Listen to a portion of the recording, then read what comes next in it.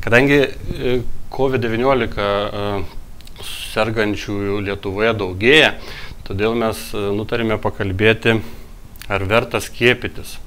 Ar reikia skiepytis, ne ar verta, ar reikia skiepytis. Šiandieną mūsų pokalbėje dalyvauja gydytoja, Raseinių Irono tarybos narė Dovilė Lukminaitė. Labą dieną, Dovilė. Smagu, kad prisijungėte pas mus į tiesioginę transliaciją. Taigi, e, gal pradžiai, kaip visada, e, mes parodysime reportažą, kurį e, padarėme Raseinių mieste, kur klausėme praeivių, ar reikia skiepytis, kodėl reikia skiepytis ir, ir ten išgirdome įvairių nuomonių. Tad prašom pradžiai reportažas, o po to užduosiu klausimus. Tai klausim, ar reikia skiepytis tiem, kurie dar nepasiskiepijo? Galėtų pasakyti medikai, o ne mes eiliniai žmonės. Jo, bet žiūrėkit, e, žmonės vieni skiepėsi. Žinokit, aš jums pasakysiu, kažko bijusi. Jūs taip sakot, medikai bijo? Žinoma. Juk, juk skiepai tai yra medicina. Ir, kai, ir kaip galima tai, už trijų mėnesių skiepytis tais pačiais skiepais, ar, arba, kai dabar sako, keisti. Tai yra vis tiek kažkas netais. Nu, bet tai čia gal medikai nusprendė, ar čia... Ne, negirdėjau iš medikų šitų komentarų. Va iš to, to, to, kaip čia to, tas, kur apie skiepus nusimanantis. Aš nieko nesakiau, man priklausė, aš jis pasiskėpėjau du kartus ir aš be metų laiko tikrai nesiskėpysiu tie, kurie nepasiskėpija, tai turėtų skiepytis, nes vis dėlto, kaip mes bebūtų, bet jie pažeidinėja kitų žmonių teisės. Jie savo teisės žino, bet kažkodėl užmiršta svetimas teisės. Kodėl aš turiu pasiskiepijus, sakykime, ir bijoti jojo, kad aš neužsikrėščiau, nes nusikrėtimų vaistų nėra. Aš tai persirgau į nesiskiepysiu. Nesiskiepysiu? Ne. O reikia kitiems skiepytis tie, kurie nepers, nepersirgė? Kam reikia, tai reikia. Bet apskritai, ar, ar reikia, ar tai... Nu, žinokit, aš turiu savo nuomonę ir manau, kad kam reikia, tegu skiepijasi. Nieko tokio, bet aš persirgau, imunitetą turiu ir patys medikai patarė, kad nesiskiepė. Kam reikia, tas tegu skiepijas. Nu, bet vis tiek. Aš pasiskiepijau, o apie kitus nieką negaliu pasakyti. Bet uh, jums. Kiekviena, kiekvienas turi savo nuomonę. Bet, kaip čia pasakyti, ar būtina, tai nežinau. Bet jūs, pavyzdžiui, jūs pasiskiepijus, aš pasiskiepęs, o kitas nepasiskiepęs, mes neturim bijoti jų, kad jie nešioja tą. Tai nebijau. nebijau. Mano toks amžius, kad jau man stovi karstas už nugaros. nu taip, taip, mano toks amžius, man stovi karstas už nugaros, tai ką aš, ką žinau. Bet Kiekvienas tai... turi nešti atsakomybę. Ir čia negali nei rekomenduoti, nei neikti, nei nieką. Aš turiu savo nuomonę, gal būčiau ir nesiskiepijus, bet dirbau tokiam darbę, kur turėjau skiepytis. Ką žinau. Ir viskas gerai paskui? Vis, kol kas negaliu nusispjauti, negražu. Bet žinokit, iš tikrųjų, tai nežinau. Nežinau, pavyzdžiui, nei ką pasakyti. Nelabai aš čia tikiu tais skiepais kodėl tie skiepai, jeigu susiskiepėjai, praėjo kažkiek laiko ir neveikia. Pasakykit, kur čia, ar čia juos dar nepatikrino gerai, nesuprantu, žinokit. Gal tik tais tokius sukūrė dabar? Dievas žino, nežinokit, nesu medicinos darbuotojas, nieko negaliu pasakyti. O tie dabar, žiūrėkit, jeigu vėl ateis ribojimai kažkokie, tai rudin dėl to, kad mes nepasiekėm to pasiskiepijusių skaičiaus, ar tai kažkaip, nu, Nežinau, žinokit, nieka. Mano aplinkoje, mano draugai, niekas nesirgo ir daug nesiskėpijusių. Mhm. Taip. Supratau. Ir suprant, ką gali žinoti. Čia kiekvieno turbūt imunitetas, kaip save prižiūri žmogus, gal nuo to priklauso, žinokit, negaliu pakomentuoti iš tikrųjų. Tai ar reikia skiepytis? Nu, reikia būtinai. Ir ką, ką jūs galėtumėt pasakyti tiem, kurie nesiskiepė? Nu, blogai. Reikia skiepytis. Ar norim dar karantiną? Nenorim to karantino uždaryti jam būti. Bet jie skeptikai sako, aš ne vat nepasiskėpiau, aš ne, nesergu ir man tas pats. Kaip, kaip, kaip tai? Tai susirgsi vis tiek kažkada. Tai. Bet galbūt jie... Ne... Kad, ne, kad nesirgsim, visi galvojam, bet, bet vis tiek susirga. Reikia skiepytis ir jokių klausimų nėra. Aš niekada gyvenime nebuvau skiepijusis, nei jokių gripų, nei jokių kitų. Ypa, nu, ką vaikystėje. Nuo COVID pasiskėpiau. O kaip, kaip čia iš tikrųjų, gal reikėtų vis tik. Reikėtų, sakot. Reikėtų. Ir ką, ap... Vesti dėl kitų. tai va dėl kitų, ką, ką, ką jiems pasakyti tada tiems žmonėms, kurie sako, ai man, man tas pats, aš nesergu, man tas pats, o mums karantinas, ką jiem galima pasakyti? Nu ką, o gal susirgsiu, o gal susirgsite. Nu tai čia žinot, kaip pasakyti, irgi vienam ta lyga pri, prikinta, kitam ne gal. Čia sunku pasakyti. O kom tikėti internetu, ten visokiais e, tokiais įrašais neiškiais, ar vis tiek e, vyriausybė, specialistais kom tikėti reikia? Gal geriau specialistais pasitikėti. Skiepyti, skiepytis. E, nieka prieš skiepytis, bet pirmoje eilėje pasitikrinti reikia imunitetą žmogus. Turi jisai ar neturi. Jeigu turi imunitetą, tai nėra reikalai skiepinti. Bet tiem, kurie iš viso, Jeigu nėra imunitetą, tai taip, sakyčiau taip. bet ką galima tiem pasakyti, tie, kurie iš viso nesiskiepia, kurie prieš. e, Nu, blogai, blogai. Nu čia sakyčiau žmogaus pasirinkims. Gyvenam tai laisvų Lietuvoje. Bet, Ir prievarta, kokia čia galbūt prievarta. bet, nu, taip apie prievartą turbūt niekas nešneka, šneka apie privalomus dalykus. Nu, privaloms tai lygiai tas pats, kas prievarta.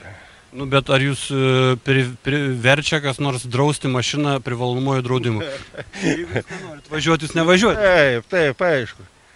Aš tai visai kitokias nuomonės apie tokius dalykus. Nu, kokios jūs nuomonės? O taip, paprasčiausiai taip. Kas dalyvau rinkoje, mokytojai ten visokie, nu, didelėse susijėgose, kur dalyvau žmonės, tai tiems būtinybė. Privaloma. Nu, ne to, ką privaloma patys turėtų suprasti žmonės, pasiskiepyti. O tas, kas nedalyvau tuose to dideliuose tokiuose renginiuose ir panašiai, nematau reikalą. Ar reikia skieptis? Reikia. Trumpai ir aiškiai. O ką tada galim pasakyti tiem, kurie sako, kad nereikia? Kągi pasakysi, jų aišku sprendimai, jų įsitikinimai, be abejonės, jeigu pokalbis gali padėti, tai e, manau ir pas e, vėliau apsispręs, o jeigu žmogus yra kategoriškas, nusistatęs, jo teisė spręsti apie savo, apie savo sveikatą, apie, apie poveikį skiepam, tiesiog sunku pasakyti. Manau, kad e, medicinos mokslai tikrai yra pažengę ir tikėti reikia mokslininkais ir skiepytis. Čia, nu šiaip, kodėlgi ne? Nu, vis, aš tai galvoju, kad reikėtų. Pasitikit mokslo daktarais, e, ekspertais? Nu, kuo daugiau tikėti. Kuo daugiau tikėti. Nuomonių tai įvairių yra. Vieni, vieni už, kiti prieš, tie abejojantis. Bet kai dabar parein tokia, ta banga tokia velnas, nežinau, kažkaip ir jau yra abejonės tos šnykt pradėt, kad nes jau kuo toliau žiūrėk raudonoji jau zonos, gali ateiti iš čia greitai. Bet čia yra daug neigiamas įtakas iš šalies.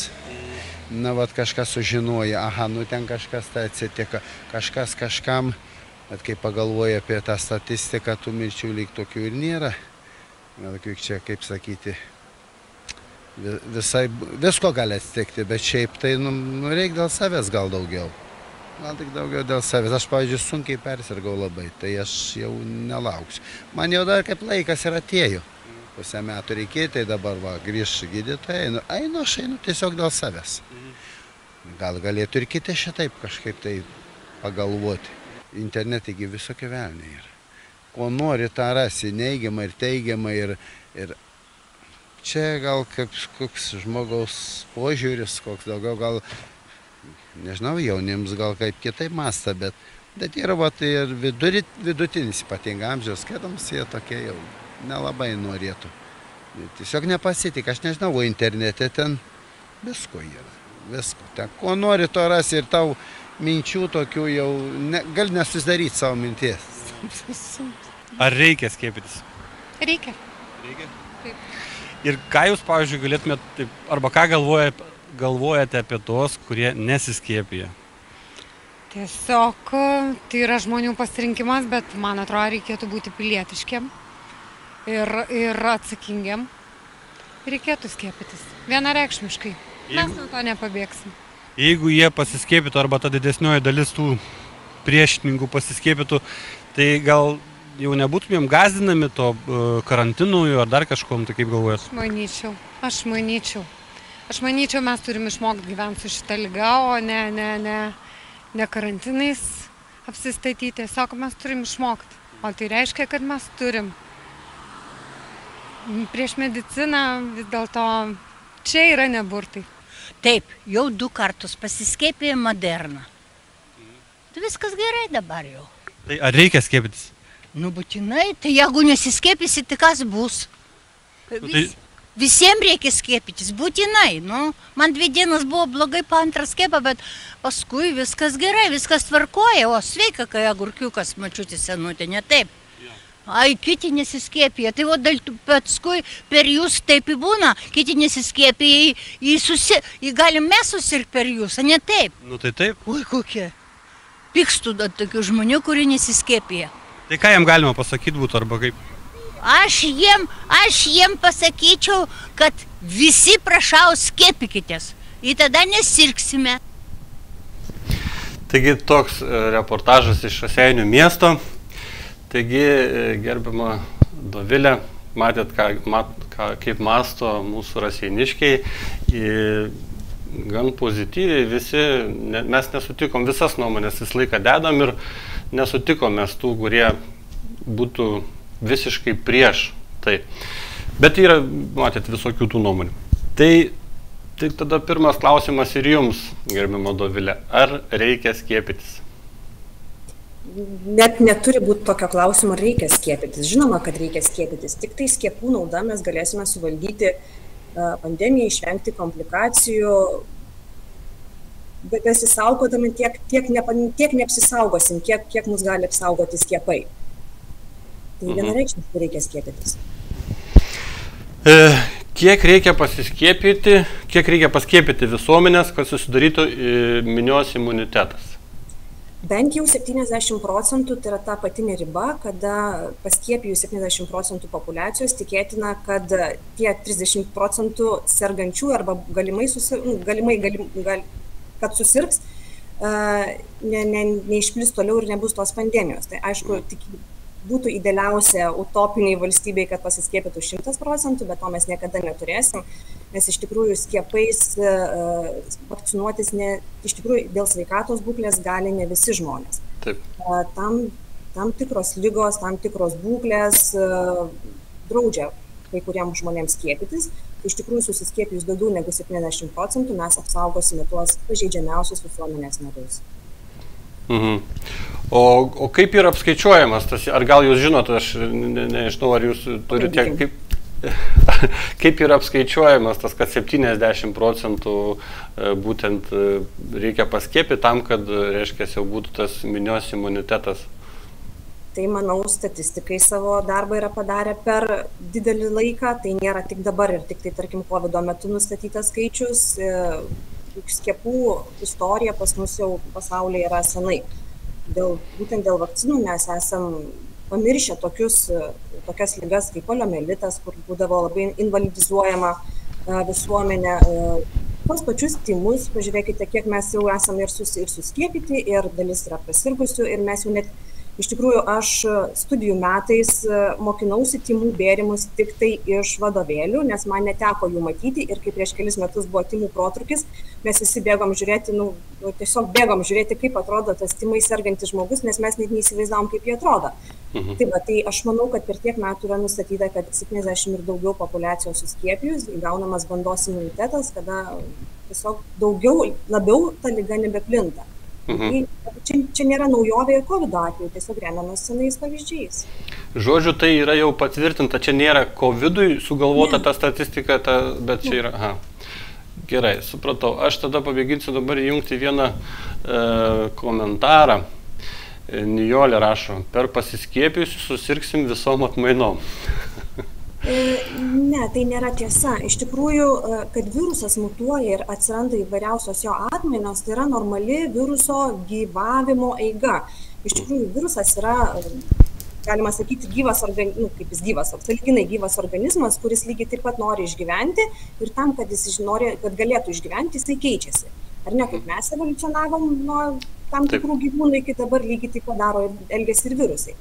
Uh, iš tikrųjų ne, mes nesusirksim visom atmainom, nes iš tikrųjų tiek, kiek dabar yra žinoma atmainų, uh, sukurtos vakcinos mus apsaugo. Uh, apsaugo nuo komplikacijų. Nuo pačio susirgymo vakcina neapsaugo, tiesiog apsaugo nuo komplikacijų, nuo sunkesnio sirgymo, nuo patekimo į ligoninę, nuo uh, mirties, nuo, nuo ilgesnio buvimo ligoninėje. Mhm. Iš tikrųjų. Uh, nu taip. E, Jo, e, tai ar, ar yra taip, kad, e, sakykime, kai tik tais atsirado COVID-19 virusas, jis buvo itin pavojingas, paskui jisai mutavo, reiškia, per jaunus žmonės jis pasidarė toks, tu prasme, kad šiek tiek lengvesnis, lengviau pernešim ir ar ta vakcina jį dar kažkiek tai mutuoja į lengvesnę formą, ar, ar taip, ar čia... Uh matot mes per vis tiek per metus laiko didelė žmonių dalis aš kalbu pasauline prasme yra prasirgusi vienokia ar kitokia forma tai dalis žmonių yra, yra įgavę imunitetą ir tas plitimas tolimesnis jisai yra šiek tiek mažesnis. Pats, pats pati vakcina to mutacijų nei jinai jų mažina, nei jinai jų didina. Tiesiog mes mažiau sergame. Kitas dalykas, pasiskiepijus mes mažiau platiname viruso. Mhm. E, kodėl? Todėl, kad mūsų imuninė sistema greitai susitvarko su tuo patekusiu virusu, reiškia, mes jo turime seriklėje mažiau, ir mažiau išpučiame į visuomenę. Kitas dalykas, mes e, pasiskiepę, jeigu ir susirgame, mes susirgame lengvesnė forma, kartais besimptomė forma. Tai reiškia, mes neturime simptomų, mes nečiaudime, nekostime, tai vėlgi tai yra būdai, kada tas virusas patenka į aplinką, patenka ant kitų žmonių, tai mes gyva tuo ir sustabdome to viruso plitimą. Mm, supratau. E, ten buvo klausimas irgi gatvėje toksai e, pastebėjimas, kodėl reikia skiepytis du arba tris kartus, e, arba kodėl E, reikia skiepytis kas tris mėnesius. Tai gal jūs galite pasakyti? Jo, iš tikrųjų, neturėjau tušinuko, kad užsirašyti, nes labai įdomi pastaba buvo. Iš tikrųjų, mes neturime skiepytis kas tris mėnesius. E, kaip girdėjote žiniasklaidoje, jau medijose, e, yra pradėta, mes iš tikrųjų visi esame kas pasiskiepė, yra pasiskiepę vienu Johnsono arba dviem uh, skiepais kitų į, į firmų. Uh, trečias skiepas tik dabar yra pradėtas skiepyti kaip girdėjote santaros klinikose tai yra kritiškai sunkiai sergantiems ligoniams su onkologinėm ligom hemodializuojamiems e, taip pat po po organų transplantacijos. E, tai iš tikrųjų nėra trys mėnesiai. Tai nuo jie buvo pradėti skiepyti pirmieji tai buvo sausio pradžia turėjo būti gruodžio pabaiga sausio pradžia tai vat paskaičiuokime praėjo e, aštuoni devyni mėnesiai nuo pirmo skiepo tai tas nėra tiesa kad mums reikia skiepytis kas tris mėnesius. O mhm. kodėl dabar reikalingi tie e, daugkartiniai skiepai vat kaip tarkim du skiepai trys trečias skiepas po po tarkim tų aštuonių devynių mėnesių tam kad mes imuninę sistemą supažindintumėm su virusu. Tai pirmiausia mes kai gaunam pirmą skiepą e, virusas imuninė sistema susipažįsta su tuo virusu. Kai gaunam antrą skiepą mes primena imuninei sistemai kad dar yra toksai virusas ir net ne nepamiršk su juo kovoti. Ir tiesiog ta revakcinacija po tarkim ten dešim mėnesių po devynių mėnesių tai yra imuninės sistemos priminimas. Prim pri vėlgi primenam kad nepamiršk kad yra toks virusas ir su kuriuo tu turėsi sukovoti. Tai mhm. nėra naujas dalykas. Lygiai taip pat žiūrėkit ir erkinis encefalitas kas skiepijasi lygiai taip pat yra netgi yra planas. Vienas mėnesis trys mėnesiai metai ir penki metai. Ta vadinama revakcinacija kad mes kad mūsų imuninė sistema prisimintų, su kuo reikia kariauti įvykus karui. Žodžiu, mums reikės su to išmokti gyventi ir skiepytis. Pastoji. Aš manau, kad taip nedings virusas niekur, kaip ir bet kuris virusas niekur nedingo. Mm. Tiesiog mes išmoksim su juo gyventi. Taip, dar ten e, gatvėje praeiviai klausė e, arba pastebėjo, jog daktarai kažko bijo, kažko nepaaiškina. Ar jūs galit kažkaip tai tą irgi paaiškinti? Ar yra tokių gal, gal ir iš, iš iš e, medikų pusės, kurie netiki tuo gal. gal. Visose bendruomenėse yra visokių žmonių, visokių reikia. Aš negaliu sakyti, aš pažiūrėsiu per savo prizmę, per savo asmeninę prizmę. Negaliu sakyti, kad nebijojau. Žinoma, kad bijojau. Iš tikrųjų, bijojau ir erkinio encefalito skiepo ir bijojau ir šito skiepo. Taip, tai yra nauja, tai yra visiškai nauja, populiacija skiepyti, skiepyti dabar iš tikrųjų, tai to nerimo šiek tiek buvo. Bet uh, matant, kiek COVID padarė pažeidimų, kiek žmonių mirė ir koks didžiulis buvo pacientų srautas su viena lyga ir su vienos lygos komplikacijom, na, nusvėrė tą baimę, baimės, ir, baimės jausmą ir vis tik nauda yra didesnė. Mhm. Taip, taip pat gatvė irgi buvo taip užsiminta privalomas ar priverstinis skiepijimas priverstinio ne, mes net nekalbėkim apie tai, negalim priversti, bet jūsų labai geras buvo uh, komentaras, kad privalomas draudimas, ar ne, automobilio. Mūsų niekas neverčia juo draustis, tiesiog jeigu nėra noro pirkti to tą draudimą, nevažiuok į gatvę. Tai aš manau, kad lygiai tas pats ir turi būti čia. Iš tikrųjų, brandi visuomenė nekeltų tokio klausimo, ar mes turime skiepytis ar neturime skiepytis. Mes nesam vieni, negyvenam negyvenamoj saloj ir iš tikrųjų nuo mūsų pasirinkimo e, ir sprendimo priklauso ir kitų žmonių sveikata ir netgi gyvybė. Tai, manau, net negali būti kvestionuojama toks dalykas. Taip, tai aš, aš dabar paprašysiu parodyti dar e, nuotrauką, kurią mes radom Facebook'e. Čia pasidalino Raseinietė e, tokiu užrašu, kurį rado laiptinėje. Tai COVID-19 tai Certificated of Vaccination 1019. Tai dirbtinio intelekto įdėgymo į žmogų sertifikatas. COVID-19 skiepai tai genų modifikacijos produktas. E, jie siekia sunaikinti nereikalingus žmonės, o likusius paversti dirbtinio intelekto vergais. Kaip jūsų kokia nuomonė? Žinote, nu, žmogaus fantazijai ribų nėra tai aš ne, neturiu ką pakomentuoti, nu, čia nėra ką komentuoti. Čia, čia, jeigu iš kitos pusės tai yra liudesys, nes yra dalis žmonių, kurie na, tikrai galbūt nežino ir normalu, kad nežino, neprivalo žmogus žinoti, ar ne, visų su, su vakcinom, su imuninė sistema ar, tarkim, su lygom susijusių dalykų. Tai vad man baisu, kad tokie, m, mm, tokie skelbimai, žinutės iš tikrųjų paveiks tą tą nežinantį žmogų ir jisai padarys tam tikrus sprendimus ir, ir, ir tarkim, neįskiepytis ar nesisaugos, ar, ar tiesiog pakenks savo ir savo aplinkiniams tokiais veiksmais. Tai jau turėtumėm labai atsakingai reaguoti tokias žinutės ir, jeigu manoma, surasti ir išmesti. O jūsų nuomonė, kiek procentaliai mūsų visuomenės žmonių yra tų, kurie, kurių smegenys yra prijungtos prie tokių, e, e, sakykime, Facebook'o įrašų ar dar kažko, kaip jūsų nuomonė, kiek jų yra? Labai geras klausimas. Iš tikrųjų, aš vat, priežiūrėdama jūsų uh, įrašytus pokalbius vat, su, su, su Raseinių gatvių uh, praeiviais, aš tikėjausi blogesnio varianto, aš tikėjausi, kad jų daugiau uh, sakys, uh, kad tai yra išpūstas burbulas, kad tai yra melagienos, kad iš visko vido nėra. Ir iš tikrųjų, nu, tarkim, 90 procentų sutiktųjų jie sakė, taip reikia skiepytis, taip mes tikim ir tarsi mokslo pažanga mus išgelbės. Tai nėra taip blogai ir aš galvoju, kad vis tik 90 procentų yra protingų žmonių ir atsakingų. Aš dar truputėlį tik pridursiu, žinokit, mes kai einame į gatvę ir buvo klausimas ir apie migrantus ir, ir, ir tokių būna, tokių, nu, globalesnių šiuo metu užduodam, tai mes galvojam, kad bus visiškas, visiška priešprieša, mes būnam visą laiką nustebę, kad žmonės iš tikrųjų, pas mus yra žmonės mąstantis, viskas yra tvarkoje. Todėl aš, aš savo nuomonę pasakysiu, aš manau, kad tų žmonių yra maksimum iki 7 procentų. E, kad nepasiskėpė dar pusė, aš manau, kad vieni e, atideda vasarą, kitiem gal laikas netėjo ir aš manau, kad su paskelbtom vyriausybės priemonėm, kurios yra dabar paskelbtos, iš tikrųjų labai tokios, nu, e, aš manau, kad čia toks pirmas tvirtas vyriausybės darbas, sakykim taip, aš manau, kad iki rudens mes čia pasieksim gerų rezultatų. Mano nuomonė, aš taip manau. Na, aš galvoju, kad jų šiek tiek daugiau yra, bet aš sutinku su jumis, kad jų yra iš tikrųjų nedaug, tie keli procentai, kuriuos tikrai ir galbūt yra priežasčių, kodėl žmonės, tarkim, ne, kalbant apie vakcinas, nepasiskėpė, nedavažiuoja iki, iki vakcinacijos centrų, bet yra išspręsta problema, medikai gali atvažiuoti į, į namus juos paskiepyti, ypač vyresnių žmonės, tai va, aš tą ir žinutę galėčiau perduoti, jeigu kas nors iš vyresnių klausosi, kad jūs tikrai turite teisę šeimos gydytojo prašyti, kad būtumėt paskiepyti namuose, nes tikrai yra slaugytojas, kurios važiuoja ir tą daro.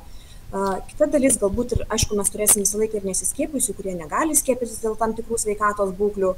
Bet aš manau irgi optimistiškai, kad, kad susiskiepys jų daugiau. Ir galbūt pasieksime, dabar mes turime virš šiek tiek virš 50 procentų susiskiepijusios populacijos, tai yra dviem skiepais, pilna vakcinacija. Tai netiek ir daug reikia, kad mes pasiektume tą įsivaizduojamą bandos imunitetą, kada mes jaustumėme saugus, o dar dalis yra persirgusių, kurie turintys imunitetą ir, ir turintys antikūnų. Tai aš manau, kad šis ruduo nebebus toks tragiškai baisus, kaip kuris buvo pernai. Taip, ir e, jeigu aš neklystu, tai paskelbus jau projektą, reiškia, dar nepatvirtintas yra, bet paskelbus tą e, e, projektą, kuris prasidės ribojimus nuo rugsėjo 13, tai jau vakcinuotis pradėjo kelis kartus daugiau žmonių per dieną, negu buvo iki tol. Tai manau, kad čia turėtų susitvarkyti. Tai aš dėkoju gydytojai ir Raseinių Rino savivaldybės tarybos nariai Doviliai Lukminaitį už pokalbį. Ačiū Jums, viso gero. E, aš tik perskaitysiu e, Raseinių rajono savivaldybės. E, informaciją, jog Raseinių rajono savivaldybė kartu su rajono asmens sveikatos priežiūros įstaigomis skelbė skiepijimo akciją. Verslo atstovai raginami pasirūpinti savo darbuotojų sveikata. Mobili skiepimo komanda yra pasirengusi atvykti į jūsų įmonę ir visus norinčius paskiepyti vakcinomis nuo COVID-19 lygos. E, dėl darbuotojų vakcinavimo įmonės turėtų kreiptis į Raseinių rajono savivaldybės kokybės vadybos vyr specialistą Daivą Daugelienę. E, elektroniniu paštu daiva.daugelienė eta raseiniai.lt telefono numeris 8656 37 675 atkreipiamas dėmesys, kad mobili komanda atvyks į jūsų įmonę, jei joje bus 20 ar daugiau darbuotojų norinčių pasiskiepyti. Taip. Tai tokia yra informacija iš savivaldybės. E, tai savaitės klausimų, savaitės temą mes jau baigėme šiandieną.